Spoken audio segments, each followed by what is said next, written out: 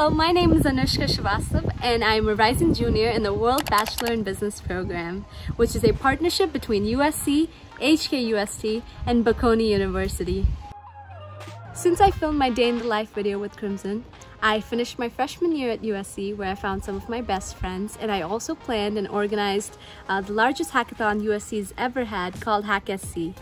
Then I went to Peru and uh, consulted for a social enterprise, after which I came back and completed my summer with a summer internship in a company in the Bay Area. Then I went to Hong Kong for my second year of college and I spent the first three months traveling and exploring the city uh, after which I had to return back to the United States because of the protest situation there.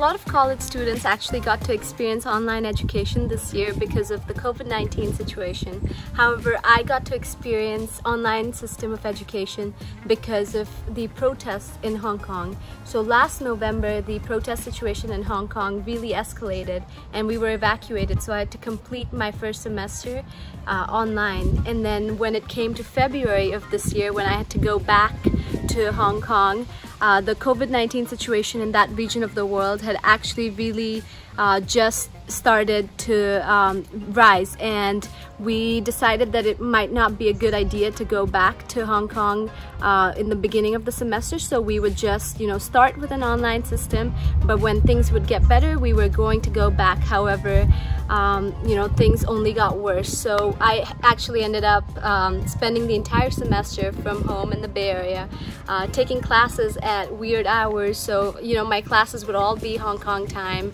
Uh, the earliest class I would have would be from 6 p.m. and most of my classes would actually end up going until 2 or 3 in the morning. I even had to take some of my finals at absurd hours like 4 or 5 uh, a.m. So I had a very interesting experience with online education.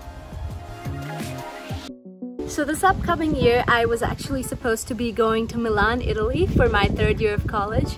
However, due to various reasons, I have decided to take a gap year and I hope to spend the upcoming year uh, developing some personal and professional skills. So I'm really looking forward to this and in this upcoming year, my only goal is to try out as many different things as possible and to really, you know, enrich myself in everything. So if I were to give my old self some piece of advice, I would truly say that, you know, value what you have and when you have it.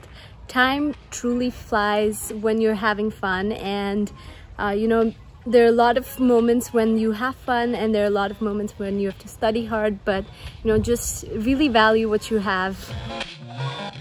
So if you're going to college this upcoming fall, I would really recommend you keep an open mind and look for opportunities uh, despite various challenges. And you know, I always truly believe that there's always something to do and something that you know you can make good use of your time with. So in terms of whether the World Bachelor in Business program has lived up to its expectations, definitely. But was it exactly how I expected things to be?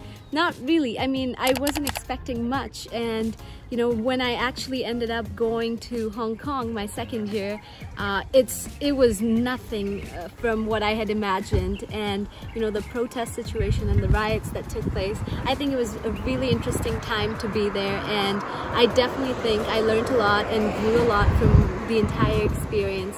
And you know, my favorite part about this program has definitely been living with my cohort uh, and living in the same apartment with uh, a lot of my friends. So just being able to explore a new city and living in a country so far away from home um, has definitely taught me a lot.